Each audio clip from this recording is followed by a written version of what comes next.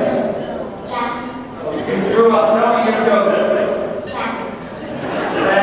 And the one thing I've always wanted, Daniel is a very serious pianist. How many hours a day do you practice? Like about two and a half. Two and a half. And Alyssa is a very serious violinist. How many hours does she practice? I'm not really sure.